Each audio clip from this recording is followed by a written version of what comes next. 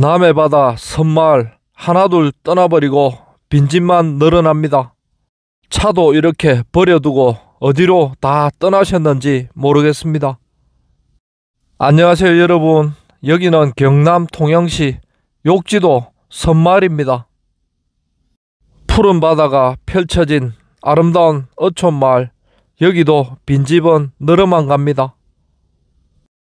평생 고기를 잡으면서 어부 생활을 하셨던 나이 많으신 어르신들 이제 모두 먼 길을 떠나시고 이렇게 동네가 비어갑니다. 욕지도는 그다지 큰 섬은 아니지만은 순위를 매겨보자면 우리나라에서 36번째로 큰 섬입니다.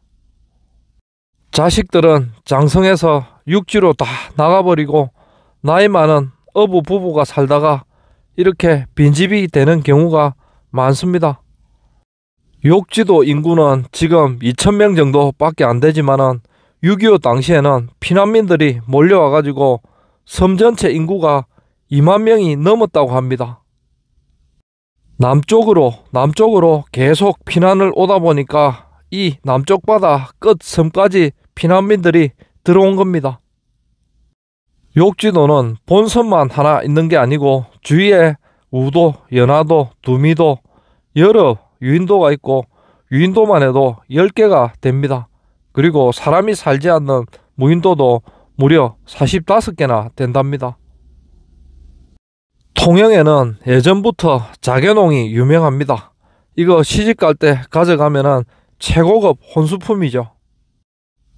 장독대를 보니까 옹기 항아리가 하나도 안 보입니다. 이 먼 섬까지 아마 도둑놈들이 와서 다 훔쳐간 것 같습니다.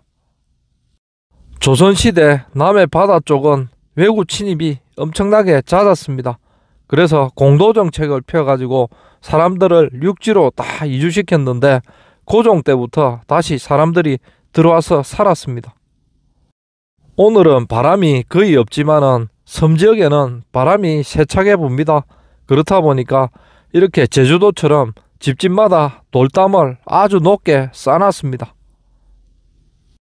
이 마을에도 조그마한 농막 같은 집을 하나 지어놨네요. 이제 농촌 체류용 쉼터를 정부에서 허가해 준다는데 기대가 됩니다.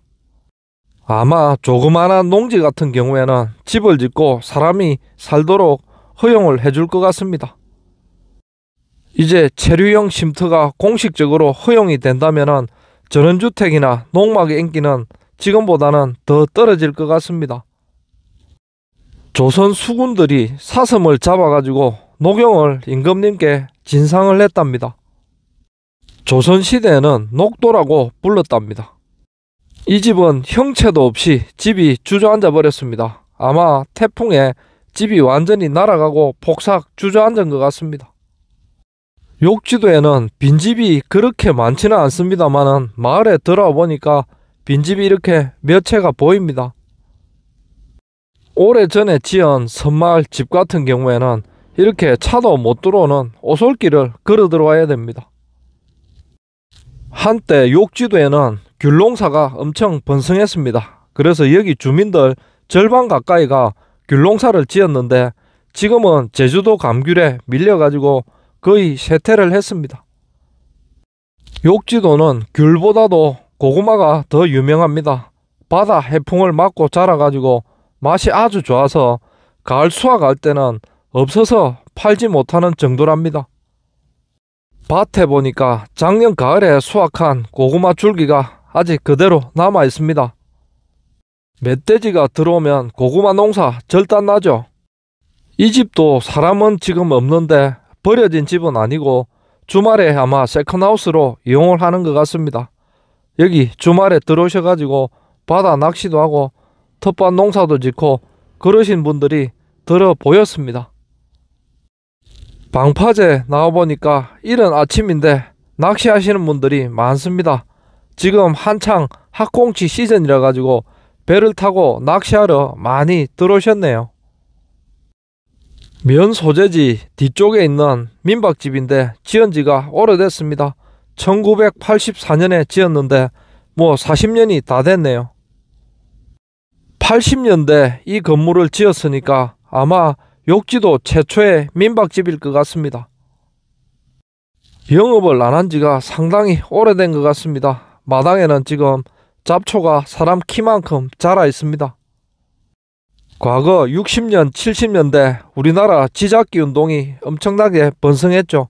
그때 고양이를 들여가지고 쥐를 잡는다고 풀어놨는데 고양이들이 새끼를 너무 많이 쳐서 결국에 고양이 섬이라는 애칭도 얻었습니다. 민박집 마당에는 카니발이 한 대 저렇게 버려져 있습니다. 누가 욕지도로 여행을 왔다가 차가 고장이 나서 이렇게 버려놨는지 아니면 민박집 주인의 차인지 정확히 모르겠지만은 이렇게 배차도 안 하고 방치를 해놨습니다. 저도 예전에 카니발 몰고 나중에 폐차까지 시켰는데 이게 차가 무거워가지고 고철값을 많이 쳐주더라고요.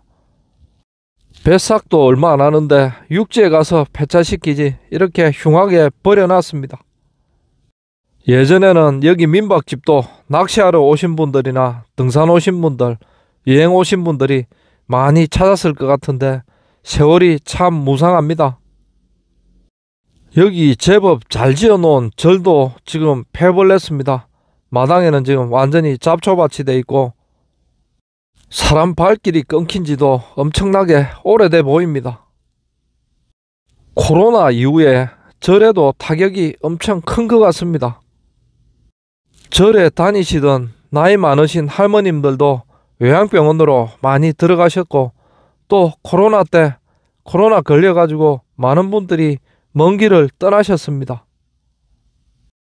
욕지도 지명 유래를 알아보니까 예전부터 여기 욕지도에 절이 있었던 것 같습니다.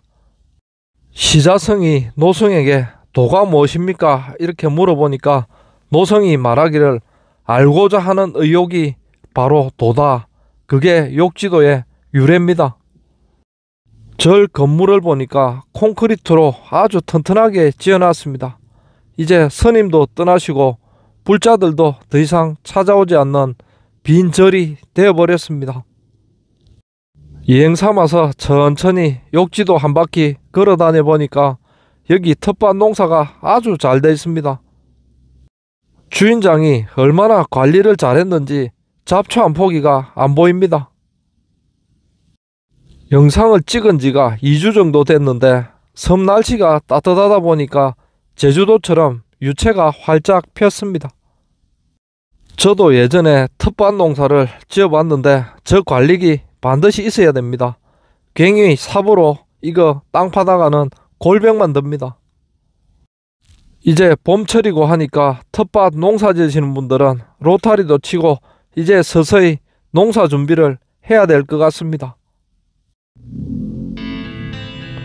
여러분들이 좋아하시는 이 음악 제목을 많이 물어보시는데 굿바이 식스입니다. 외국 곡인데 우리나라에서는 찾을 수가 없습니다.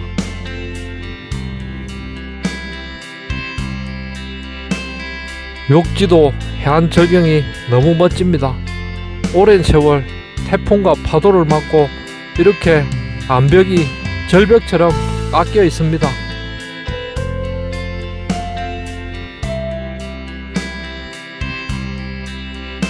저도 말을 안 하고 싶은데 이렇게 나레이션을 안 하면 또 유튜브 AI가 또 뭐같이 저품질 영상이다 해가지고 태클을 걸기 때문에 말을 할 수밖에 없습니다.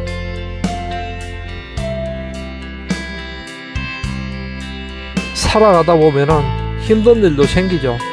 그럴 때마다 저는 섬마을에 찾아옵니다. 이렇게 푸른 바다를 딱 보고 아름다운 경치를 보면은 힐링이 됩니다.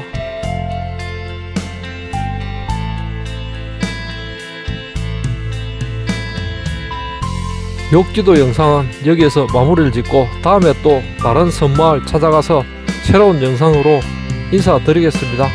감사합니다.